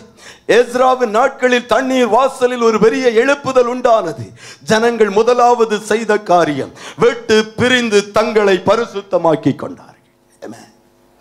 வாலிபர்கள் வாலிப பிள்ளைகள் கேட்கிற அத்தனை பேர் கர்த்தருடைய வார்த்தைக்கு பிரமாணத்திற்கு நீங்கள் கீழ்ப்படுகிறவர்களாய் காணப்பட வேண்டும். அறியாமை நாட்களை கர்த்தர் அறியாதவர் போல் காணப்பட்டார். இப்பொழுது எல்லா மனுஷனும் மனம் திரும்ப வேண்டும் என்று கர்த்தர் கட்டளையிடுகிறார் உலகத்தை ஏமாற்றலாம் மனுஷனை ஏமாற்றலாம். ஆண்டவரை ஒருவனும் ஒரு காலம் ஏமாற்ற முடியாது. ஏமே அவர்களுக்குள்ளாய் வந்த மனம் திரும்புதல் மெய்யாய் காணப்பட்டது. அது நிமித்தமாய் முதல் முதலாய் புறஜாதிகளை அப்புறப்படுத்தினார். அடுத்ததாய் அவர்கள் செய்த காரியங்கள் என்ன? என்று பார்க்கும்போது. ஒன்பதாவது அதிகாரம் ரெண்டாவது வசனத்தை வாசிக்கும் போது தங்கள் பாவங்களையும் தங்கள் பிதாக்களின் பாவங்களையும் அறிக்கையிட்டு மனங்கசந்து அழுது ஜெபிக்கிறவர்களாய் மாறினார்கள். மூன்றாவதாக பார்க்கும்போது பத்தாவது அதிகாரம் முப்பத்தி ஒன்றாவது வசனத்தை வாசிக்கும் போது ஓய்வு நாட்களை கனம் பண்ணுவோம் என்று சொல்லி ஒரு தீர்மானத்தை அவர்கள் எடுக்கிறதை பார்க்கிறோம். வாசியுங்கள் இந்த வசனத்தை. பத்து முப்பத்தி ஒன்று. தேசத்தின் ஜனங்கள் ஓய்வு நாளிலே சரக்குகளையும் எந்தவித தானிய தவசத்தையும் விற்கிறதற்கு கொண்டு வந்தால் நாங்கள் அதை ஓய்வு நாளிலும் பரிசுத்த நாளிலும் அவர்கள் கையில் கொள்ளாதிருப்போம். அதை ஓய்வு நாட்களிலும் பரிசுத்த நாட்களிலும் அவர்கள் கையிலிருந்து கொள்ளாதிருப்போம். நாங்கள் ஏழாம் வருஷத்தை விடுதலை வருஷமாக்கி சகல கடன்களையும் விட்டுவிடுவோம் என்றும் ஆணையிட்டு பிரமாணம் பண்ணினார் ஏமன் இங்கு ரெண்டு காரியம். ஒன்று நாங்கள் ஓய்வு நாட்களை கனப்படுத்துவோம். அநேக இடங்களில் இந்த வசனம் எப்படியாய் ஓய்வு நாட்களை கனம் பண்ணுவோம் என்று இதன் பின்பாய் எழுதப்பட்டிருக்கிறது. நீங்கள் வாசித்தால் அறிந்து கொள்ளலாம். ஓய்வு நாட்களை கனம் பண்ணுவோம். அது மட்டும் ஓய்வு நாட்களை கனவீனம் பண்ணி கொண்டிருந்தார்கள். அது கர்த்தருடைய நாள். அதில் கடந்து சென்று ஆலயத்திற்கு கடந்து சென்று ஆண்டவரை ஆராதிக்க வேண்டும் என்பதையெல்லாம் மறந்து எத்தனையோ வருஷம் ஆகிவிட்டது. கத்தருடைய ஜனமே நாம் எப்படிப்பட்டவர்களாய் காணப்படுகிறோம்? ஆண்டவர் பத்து கட்டளைகளை கைகளில் எழுதி கொடுத்த வேளையில் சொன்னார் ஓய்வு நாட்களை பரிசுத்தமாய் ஆசரிக்க நினைப்பாயாக. மையாய் பரிசுத்தமாய் கர்த்தருடைய நாளை ஏமேன் கர்த்தருக்கென்று கொடுத்து நாம் பரிசுத்தமாய் அதை ஆசரிக்கிறவர்களாய் காணப்படுகிறோமா? சபை கூடி வருதலை சிலர் விட்டு விடுகிறது போல விட்டு விடாதிருங்கள் என்று ஒருவருக்கொருவர் புத்தி சொல்லுங்கள் என்று வேதம் சொல்லுகிறது. எத்தனை பேர் ஏமேர் வராத ஒரு நபருக்கு புத்தி சொல்லி ஆண்டவருடைய நாள் கடந்து வந்து ஆண்டவரை கனம் பண்ண வேண்டும் ஆராதிக்க வேண்டும் என்று புத்தி சொல்லுகிறவர்களாய் நாம் காணப்படுகிறோம். நம்ம ஆராய்ந்து பார்க்க வேண்டும். ஓய்வு நாளினால் வருகிற ஆசீர்வாதங்கள் அநேக வேளையில் ஜனங்கள் அறிவதே இல்லை. மகிமையான ரெண்டு வசனங்கள் காணப்படுகிறது. ஏசாயா ஐம்பத்தி எட்டாவது அதிகாரம் பதிமூன்று பதினான்காவது வசனங்கள். ரெண்டு வசனங்களையும் வாசியுங்கள். என் பரிசுத்த நாளாகிய ஓய்வு நாளிலே உனக்கு இஷ்டமானதை செய்யாதபடி உன் காலை விலக்கி உன் வழிகளின்படி நடவாமலும் உனக்கு இஷ்டமானதை செய்யாமலும் உன் சொந்த பேச்சை பேசாமல் இருந்து ஓய்வு நாளை மனமகிழ்ச்சியின் நாள் என்றும் கர்த்தருடைய பரிசுத்த நாளை மகிமையுள்ள நாள் என்றும் சொல்லி அதை மகிமையாக எண்ணுவாயானால் அப்பொழுது கர்த்தரில் மனமகிழ்ச்சியாய் இருப்பாய். பூமியின் உயர்ந்த இடங்களில் உன்னை ஏறி இருக்கும்படி பண்ணி உன் தகப்பனாகிய யாக்கோபுடைய சுதந்திரத்தால் உன்னை போஷிப்பேன். கர்த்தருடைய வாய் இதை சொல்லி ஓய்வு நாட்கள் கர்த்தருடைய பரிசுத்த நாளாகிய ஓய்வு நாள். மூன்று காரியங்களை செய்யக்கூடாது. மூன்று காரியங்களை செய்ய வேண்டும் என்றால் மூன்று விதமான ஆசீர்வாதம். ஒன்று முதல் மூன்று காரியங்கள் செய்யக்கூடாத காரியங்கள். உனக்கு இஷ்டமானதை செய்யாதே. நம்ம எப்படி? ஓய்வு நாளில் தான் நமக்கு என்னென்ன இஷ்டமா இருக்கோ அத்தனை காரியங்களையும் செய்கிற நாள் ஓய்வு நாள். வேதம் சொல்லுகிறது உனக்கு இஷ்டமானதை ஓய்வு நாட்களில் செய்யாதே. உன் வழிகளில் நடவாதே. கால் போன போக்கில் சும்மா போறேன்னு சொல்லிட்டே நடந்துட்டு இருக்காத. ஓய்வு நாள் கத்தருடைய நாள். உன் சொந்த பேச்சை கூட பேசாதவனுடைய நாவுக்கு கூட நீ சிப் போடணும். ஆமா. பிள்ளைகள் சொல்லுகிறது போல. எப்சி அப்பப்போ வந்து சொல்லுவான். ஆமா. நாவுக்கு கூட ஜிப் போடணும். சொந்த பேச்சை பேசக்கூடாது. மூன்று காரியங்களை செய்யக்கூடாது. மூன்று காரியங்களை செய்ய வேண்டும். ஓய்வு நாளை பரிசுத்த நாள் என்று கருத வேண்டும். ஓய்வு நாளை மனமகிழ்ச்சி நாள் என்று கருத வேண்டும். ஓய்வு நாளை மகிமையுள்ள நாள் என்று கருத வேண்டும். ஓய்வு நாள் என்றாலே மனமகிழ்ச்சி. சங்கீதக்காரனை போல கத்தருடைய ஆலயத்திற்கு போவோம் என்று சொன்ன உடனே மனமகிழ்ச்சி சந்தோஷம் மகிழ்ச்சி. ஏமே. அது பரிசுத்தமான நாள். காரணம் பரிசுத்த தேவனை ஆராதிக்கும்படி கர்த்தர் ஒதுக்கி கொடுத்த நாள். பழைய ஏற்பாட்டில் எல்லாம் ஓய்வு நாட்களில் எதையாகிலும் செய்தால் கல்லால் அடித்து கொன்று விடுவார்கள் மோசையின் பிரமாணத்தின்படி அந்நாட்கள் மூன்றாவது மகிமையுள்ள நாள் மகிமையுள்ள தேவனை ஆபிரகாமுக்கு மகிமையுள்ள தேவனாய் வெளிப்பட்ட கர்த்தரை ஆராதிக்கிற நாள். இப்படி கர்த்தருடைய நாளை மகிமையுள்ள நாள் மனமகிழ்ச்சியின் நாள் பரிசுத்த நாள் என்று கருதினால் மூன்று விதமான ஆசீர்வாதங்கள் ஆண்டவர் சொல்லுகிறார். அப்பொழுது கர்த்தரில் மனமகிழ்ச்சியாயிருப்பாய். ஏமே ஆண்டவரில் மனமகிழ்ச்சியா இருக்கணுமா? ஓய்வு நாளை கனம் பண்ணுங்க.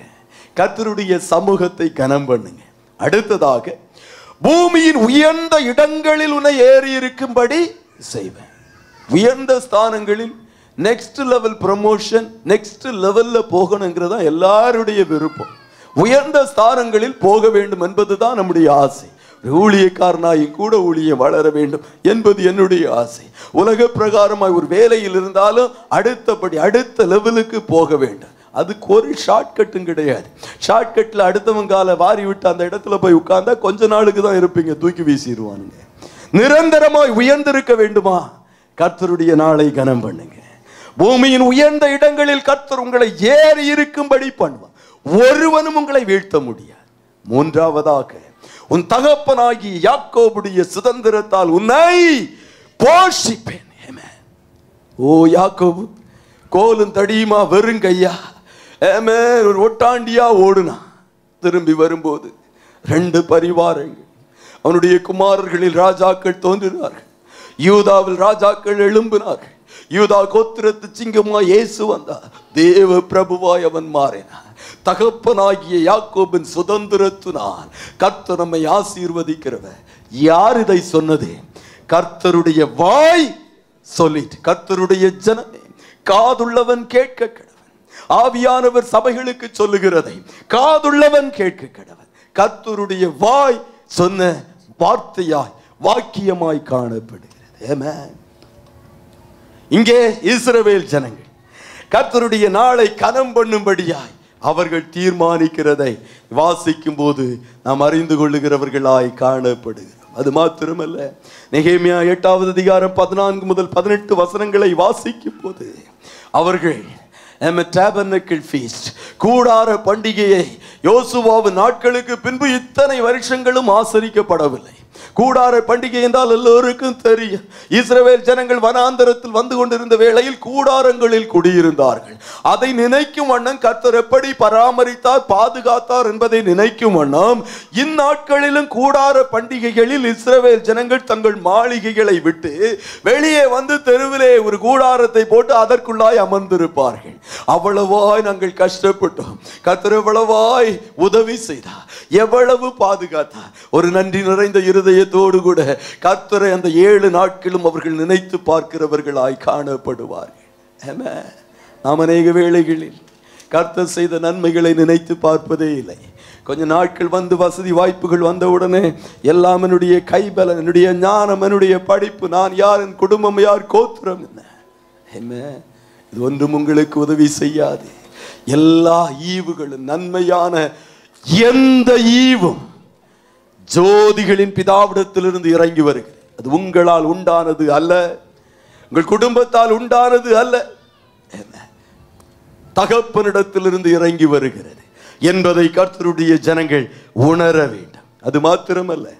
பத்தாவது அதிகாரம் முப்பத்தி மூன்றாவது வசனத்திலிருந்து முப்பத்தி ஒன்பதாவது வசனம் வரைக்கும் நெகைமையை வாசித்து பாருங்கள். சொல்லுகிறார்கள். எங்களுடைய தேவனுடைய ஆலயத்திற்காக நாங்கள் கொடுப்போம். முப்பத்தி மூன்றாவது வசனம் அதை தான் சொல்லுகிறது. எங்கள் தேவனுடைய ஆலயத்திற்காக நாங்கள் கொடுப்போம். ஒவ்வொரு வார்த்தைகளை குறித்து விளக்கலாம். முப்பத்தி ஒன்பதாவது வசனம் சொல்லுகிறது. நாங்கள் எங்கள் தேவனுடைய ஆலயத்தை பராமரிப்போம். ஏமே அவ்வளவாய் நன்மை செய்த தேவனுக்கு நாங்கள் ஏமே நன்றி காணிக்கைகளை நாங்கள் செலுத்துவோம் என்று சொல்லிக்கூட அவர்கள் ஒரு உறுதிமொழியை எடுக்கிறதை பார்க்கிறோம் Amen. Amen. கர்த்தருக்காக நாங்கள் கொடுப்போம் என்று ஒரு தீர்க்கமான முடிவை கர்த்தருடைய ஜனங்கள் ஏமன் எடுக்கிறதை பார்க்கிறோம் கர்த்தருடைய ஜனமே தாவீது சொன்னது போல கர்த்தர் கொடுத்ததிலிருந்து நீர் எங்களுக்கு தந்ததிலிருந்து நாங்கள் தருகிறோம் என்பதுதான் ஒரு உணர்வுள்ள இருதயம் அதுதான் கொடுக்கும் அல்லீலூயா ஊழியத்தின் பாதைகளில் நான் பார்த்து இருக்கிறேன் கர்த்தருக்காய் கொடுத்து உயர்ந்த ஸ்தானங்களில் ஏறின அமர்ந்த அநேகரை குறித்து என்னால் சொல்ல முடியும். கர்த்தருக்காக விதைக்கிற ஒன்றும் அது வீணாய் போவதில்லை. முப்பது அறுபது நூறுமாய் நம்முடைய வாழ்க்கையில் அது பலன் கொடுக்கிறதாய் காணப்படும். மாத்திரமல்ல பத்தாவது அதிகாரத்தின் மூன்றாவது வ- வசனத்தின் முப்பத்தி ஒன்றாவது வசனத்தின் பின்பகுதி சொல்லுகிறது. ஜூப்ளி ஈயா ஏழாவது வருஷத்தில் எல்லா கடன் வாங்கினவர்களுக்கு மன்னிப்போம். இல்லாதவர்களுக்கு கொடுப்போம். ஏழைகளை நினைத்தருளுவோம் என்றும் சொல்லி அவர்கள் ஒரு தீர்மானத்தை எடுக்கிறதை பார். இதுதான் மெய் மனம் திரும்புது இதுதான் ஒரு எழுப்புதல். எழுப்புதல் என்றாலே டிரான்ஸ்பர்மேஷன் நாட்களில் நாம் என்ன செய்கிறோம்? ஏதோ ஜபிக்கிறோம் அந்நிய பாஷைகளை பேசுறோம். நாங்க தான் எழுப்புதல்னு சொல்லுகிறான் வாழ்க்கையில் மாற்றம் இல்லாதவன் எழுப்புதல் இல்லாதவன் செத்து போன கிறிஸ்தவன்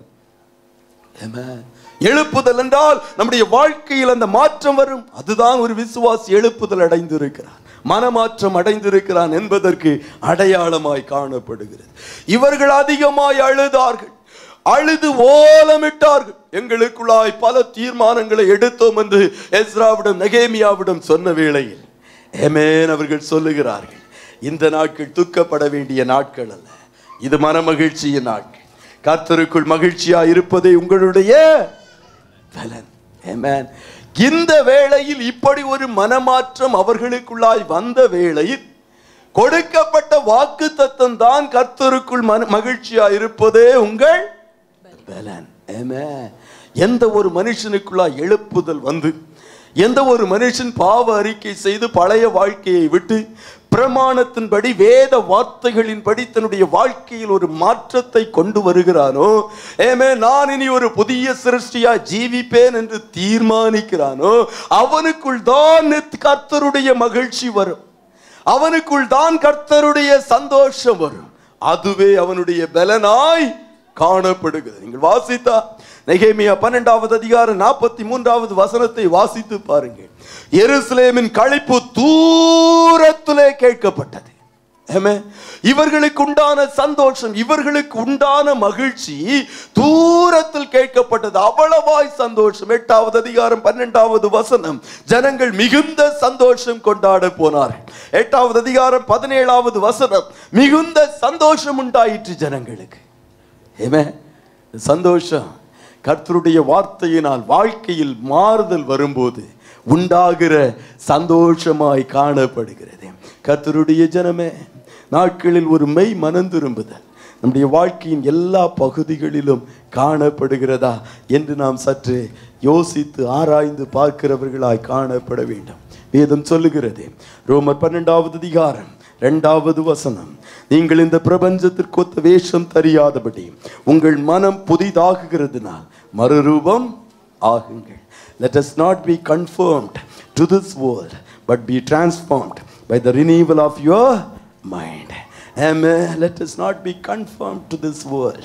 Amen. இந்த உலகத்திற்கு ஒத்த காரியங்களை வேஷத்தை தரித்து விடாதிருங்கள் உலகத்தின் காரியங்களில் நம்மளை கன்ஃபார்ம் நம்மை கன்ஃபார்ம் செய்து விடாதிருங்கள் மாறாக ஏமேன் ஒவ்வொரு நாளும் உள்ளம் புதிதாகிறதுனாலே மனம் மறுரூபமாகிறதுனாலே ஏமே ஒரு மறுரூபமாகுங்கள் என்று சொல்லி கர்த்தர் சொல்லுகிறார். நமக்குள்ளாய் ஒரு மறுரூபம் ஒவ்வொரு நாளும் ஆக வேண்டும். ஏமே என்றால் தான் கர்த்தருடைய வருகையில் நாம் கடந்து செல்ல முடியும்.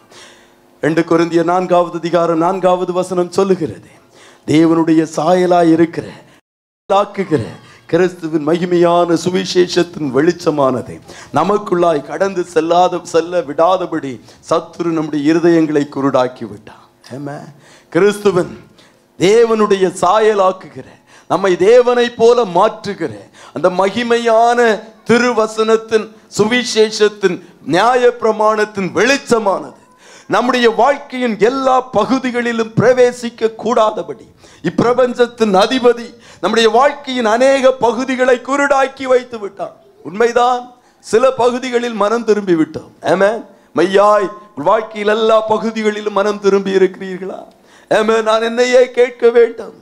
வேத பிரமாணத்தின்படி நம்முடைய வாழ்க்கை காணப்படுகிறதா? எல்லா பகுதிகளிலும் எஸ் லார்ட் என்று சொல்லுகிற அளவுக்கு ஏமே நாம் காணப்படுகிறோமா? கர்த்தருடைய ஜனங்கள் நம்மை ஆராய்ந்து பார்க்க வேண்டும் என்று கர்த்தர் விரும்புகிறார். என்றால் தான் கர்த்தருக்குள் ம- மகிழ்ச்சியாயிருப்போம். என்றால் தான் நம்முடைய ரட்சிப்பின் தேவனுக்குள்ளாக களி கூறுகிறவர்களாய் காணப்படுவோம். நீதிமொழிகள் பதினேழாவது அதிகாரம் இருபத்தி ரெண்டாவது வசனம் சொல்லுகிறது. மனமகிழ்ச்சி நல்ல ஔஷதம். மனமகிழ்ச்சி நல்ல ஔஷதம். மனமகிழ்ச்சி நல்ல மருந்து. ஏமேன் கத்தருக்குள் மகிழ்ச்சியாக இருந்தாலே வியாதிகள் வராது. ஏன்னா வியாதிகள் பறந்தோடி போய்விடும். எனக்கு அநேக அனுபவங்கள் உண்டு. என்ன பிரச்சனையோடு இந்த இடத்துல வந்து நின்னாலும் திரும்பி போகும்போது பலத்தோடு தான் போனேன். ஏமே எத்தனையோ காரியங்களை சொல்ல முடியும். என்ன? மனமகிழ்ச்சி நல்ல மருந்து. மனமகிழ்ச்சி நல்ல ஔஷதமாய் காணப்படுகிறது. கத்தருடைய ஜனங்கள் இந்நாட்களில் நாம் எல்லோரும் சொல்ல வேண்டும் joy of the Lord is my strength I mean கர்த்தருக்குடைய கர்த்தருக்குள் மனமகிழ்ச்சியா இருப்பதே என்னுடைய பலன். இந்த மனமகிழ்ச்சி எப்போது வரும்? உண்மையான ஒரு மாற்றம் நமக்குள்ளாய் வரும்போது உண்மையான ஒரு எழுப்புதல் வரும்போது எல்லா பகுதிகளிலும் ஒரு மனம் திரும்புதல் வரும்போது அப்போதுதான் கர்த்தருடைய மகிழ்ச்சி நம்முடைய பலனாய் மாறும். இந்த நித்திய மகிழ்ச்சியை பெற்றுக்கொள்ள ஆசிக்கிற ஜனங்களாய் நாம் காணப்பட வேண்டும். எப்படி இஸ்ரவேல் ஜனங்கள் பிரமாணத்தை வார்த்தையை கேட்ட வேளையில் மனம் கதறி ஓலமிட்டு அழுது தங்கள் வாழ்க்கையை மாற்றினார்களோ? வாட்டர் கேட் ரிவைவல் தண்ணீர் வாசல் எழுப்புதல் அதுபோல நம்முடைய வாழ்க்கை மாறுதல் அடைய வேண்டும் எழுப்புதல் அடைய வேண்டும் என்று கர்த்தர் விரும்புகிறார். எழுப்புதலினால் ஒரு பெரிய சந்தோஷம் உண்டு. அதுதான் கர்த்தருக்குள் மகிழ்ச்சியாக இருக்கிறது. கர்த்தரிடத்திலிருந்து வருகிற மனமகிழ்ச்சி. மகிழ்ச்சி எழுப்புதல் அடையும் போது மறுரூபமாகும் போது மனமாற்றம் அடையும் போது ஏமே நம்முடைய வாழ்க்கை மாறும்போது கத்தர் கொடுக்கிற சந்தோஷமாய் காணப்படுகிறது. உலகம் கொடுக்கக்கூடாத ஒரு சந்தோஷம். ஏமே ஆண்டவருடைய சமூகத்தில் எழும்பி நிற்போமா? ஆலலூயா நன்றி ஆண்டவர். அப்பா அம்மை ஸ்தோத்தரிக்கிறோம் துதிக்கிறோம். ஹalleluya ஹாலலூயா ஜனங்கள் ஒருமனப்பட்டவர்களா? தண்ணீர் வாசலில் கூடி வந்தார்கள். எஸ்ராவை பார்த்து சொன்னார்கள் வேத பிரமாணத்தை நீ கொண்டு வா. நாங்கள் கேட்பதற்கு ஆவலாய் இருக்கிறோம். ஒன்று ரெண்டு மணி நேரம் அல்ல மூன்று மணி நேரம் ஆறு மணி நேரம் என்று சொல்லி கர்த்தருடைய வார்த்தையை கேட்டார்கள் மனம் கதறி அழுதார்கள்.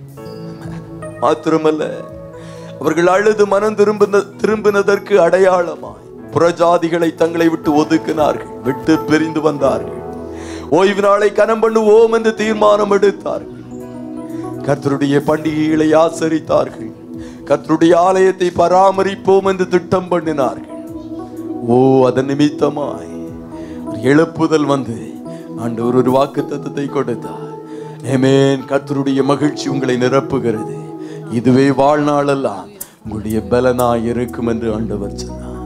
கர்த்தருடைய பிள்ளைகளே ஆண்டவர் வார்த்தையை மீறி ஒன்றும் செய்வதில்லை. வார்த்தைக்கு புறம்பாய் ஒன்றும் செய்வதில்லை. வார்த்தையில் வாழ்க்கையை கட்டு. இமேன் அந்த வார்த்தைக்கு மாத்திரம் ஒரு மனுஷனை மாற்றுகிற வல்லமை உண்டு. எந்த மனுஷனையும் பிரகாசிக்க பண்ண கத்தருடைய சுவிசேஷத்திற்கு கத்தருடைய வார்த்தைக்கு தான் வல்லமை உண்டு. ஆண்டவரே உடைய வார்த்தையில் உடைய பிள்ளைகள் வாழ்க்கையை கட்டி எழுப்பட்டும் ஐயா. ஆலையிலோ இந்த வார்த்தைகளின் நிமித்தம் இவர்களுடைய சிரசின் மேல் நித்திய மகிழ்ச்சி வந்து இறங்குவதாக. சந்தோஷம் உண்டாகட்டும் இவர்களுக்குள்ளாய் ஒரு எழுப்புதல் உண்டாகட்டும். ஆண்டவரே ஒருபோதும் உலகத்திற்கு ஒத்த வேஷத்தை இனி நாங்கள் தரிக்கவே கூடாது. மாறாக மறுரூபமாகி ஏமேன் மகிமையின் தேவனுக்கு ஒத்த சாயலை அணிந்து வருகையில எடுத்துக்கொள்ளப்படுவதற்கு நாங்கள் ஆயத்தமாய் காணப்பட. கர்த்தர் எங்களுக்கு உதவி செய்யும். வார்த்தைகளை கேட்கப் போகிற அத்தனை பேருக்கும் உதவி செய்யும். இயேசுவின் நாமத்தில் ஜெபிக்கிறோம் நல்ல பிதாவே. ஆமென்